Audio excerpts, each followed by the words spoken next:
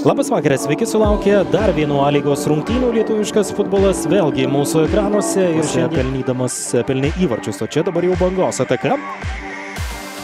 Ir štai toks smūgis į tolimą vartų kampą, šį kartą pataikyti nepavyksta, bet išsiskiria bangos kūrybos Valdemarui Borovskijui.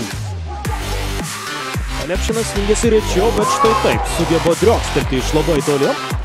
Nepavyko pataikyti į vartus, bet Lepšinas Beveik pusė pirmo kelnio yra sužaista, štai čia smūgis į tolimą.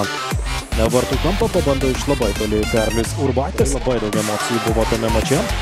Iš aikštės išveti buvo Rimidas Sadauskas ir Modestas Vorobjovas. O čia Tadas Samaitis priverstas į kraštą Valdemarui Borovskijui. Šis ieško komandos draugų baudos aikštelėje. Smūgis nesėkmingas. Ramanauskas pabando.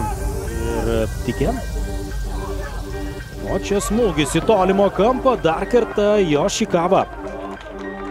Pirmo, abiem po 34 metus, išmuša kamolį iš vartininko aikštelės Driomovas, po to dar pabando smūgiuoti. 27 metai jam, centro polėjas, taigi gal čia štai toks perdavimas ir Julius Kasparavičius smūgiuoja.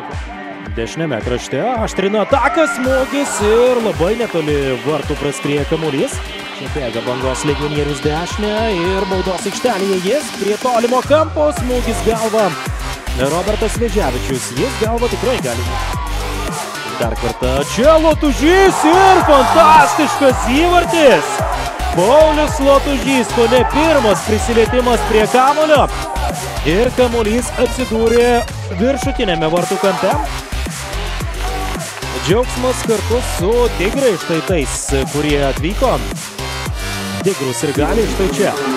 Lepčinas lieka už nugaros ir po to smūgis kairė koja tiesiai. Kelia kamuolį tolimo virpsto link smūgis ir kamuolys skrieja netiksliai. 1-0. Ir tai yra viskas. Nieko laiko daugiau nebepridėjo Mindaugas Jetskus, taigi sakyčiau netikėtumas. Banga iškovoja pergalę šiame mače ir